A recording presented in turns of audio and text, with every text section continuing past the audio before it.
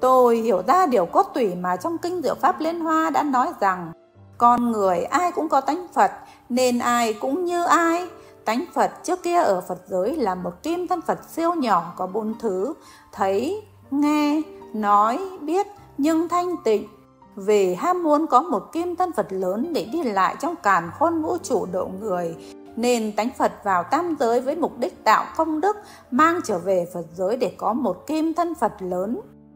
Tuy nhiên, khi vào tam giới, tánh Phật phải vào thai mẹ ngủ 9 tháng, 10 ngày để sinh ra là một đứa trẻ. Nên tánh Phật quên đi nhiệm vụ của mình là tạo công đức mà lại tạo ác đức và phước đức khiến tánh Phật phải luân hồi trong lục đạo, trời, thần, người, ngạ quỷ, súc sanh và địa ngục hàng tỷ kiếp.